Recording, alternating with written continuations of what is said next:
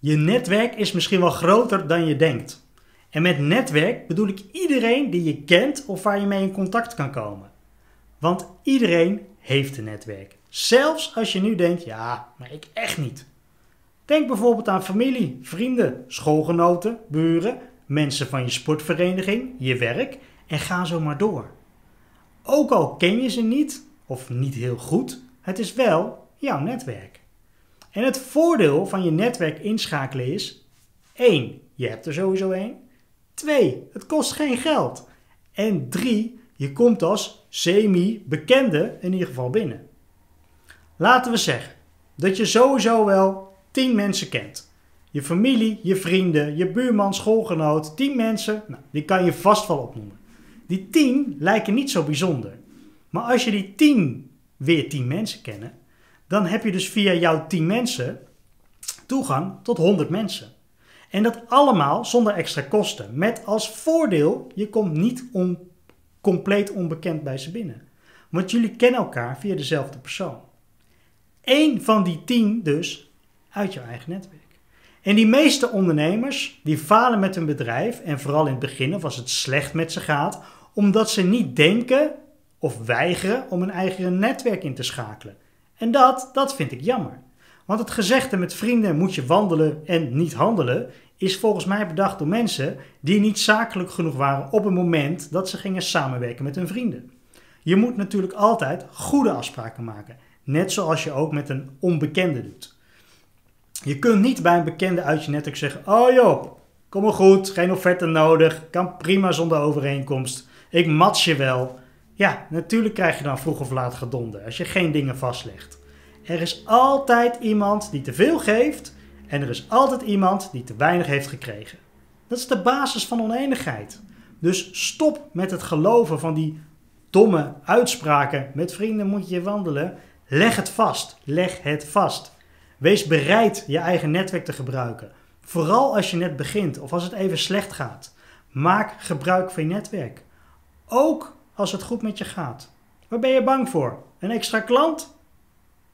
Extra omzet? Meer bekendheid? Ook al denk je nu, ja, maar in mijn netwerk zit niemand die het gaat kopen. Of aan mijn netwerk heb ik helemaal niks. Dan ben je dus op voorhand voor je netwerk aan het bepalen dat ze niks kunnen gaan doen voor je. Stel, je zou iemand in je netwerk hebben met een bloemenwinkel of een wijnwinkel. Dan zou je, lijkt mij, daar toch ook eerder iets kopen. Je zou toch eerder bij hun iets kopen dan bij hun concurrent of collega. Dit kan werken voor elke branche waar je extra klanten of extra bekendheid voor zoekt. Zorg ervoor dat je netwerk weet waar je nu mee bezig bent, wat het inhoudt en wat precies de herkenningspunten zijn waar jij dus een toevoeging kan geven aan iemand anders. Dus waar jouw bedrijf voor staat. Zo maak je van jouw 10 mensen die misschien niks gaan kopen, weer 10 mensen die nu beter weten wat je bedrijf doet. En zij kennen elk weer 10 mensen. Dus bij elkaar ken je zo 100 mensen. Waarom zou je hier niks mee doen? Je hebt toegang tot 100 mensen. En die 100 mensen kennen weer 10 mensen. Dus dan heb je 1000 mensen. En die 1000 mensen kennen ook weer 10 mensen. Dan heb je dus 10.000 mensen. En dit allemaal zonder dat je een vermogen kwijt bent aan marketingbudget. Dus mijn dikke tip: laat je netwerk werken. Laat ze weten wat je doet. Wat zijn de herkenningspunten als jij iets kan toevoegen voor ze? En zo'n herkenningspunt kan bijvoorbeeld zijn: stel, ik reinig vloeren. Dan zou ik dus tegen mijn netwerk kunnen zeggen, nadat ik al verteld heb wat ik doe. Als je nou een keer bij iemand binnenkomt en die heeft een hele doffe vloer, dan kan ik die weer glanzend maken.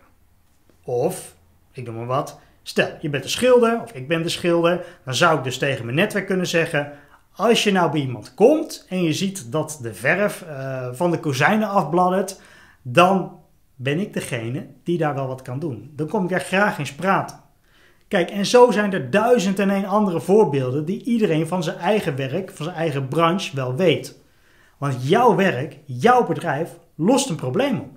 En als je dat kan verwoorden, dan kom je ook wel tot één of zelfs meerdere herkenningspunten. Dus nogmaals, dikke tip. Laat je netwerk weten wat je doet en wat de herkenningspunten zijn, zodra jij iets kan toevoegen dan kun je ze sneller, dan kunnen ze sneller aan je denken. En dat is wat je wilt. Jouw netwerk kost het minste, ze kunnen veel voor je doen en je komt ja, niet warm binnen, maar in ieder geval lauw. En dat is altijd beter dan koud.